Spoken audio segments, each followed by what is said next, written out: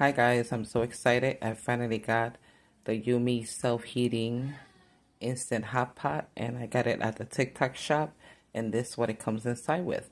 And that's a big package of vegetables, a package of pepper flakes, and that is the soup base and that is the bowl that you're going to make the noodles in. It also comes with some oil, the noodles of course, a cute pair of chopsticks, and the heating pad all in that one box. I told you it's kind of heavy.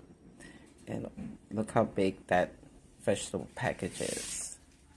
And those are all the things that it come. And let's not forget the chopsticks. So I put the bowl that it came with and I put the noodles at the bottom and I put the vegetables on the top. Look at all those vegetables. And then I put the soup base. And look how thick. And I saved the oil and the pepper flakes for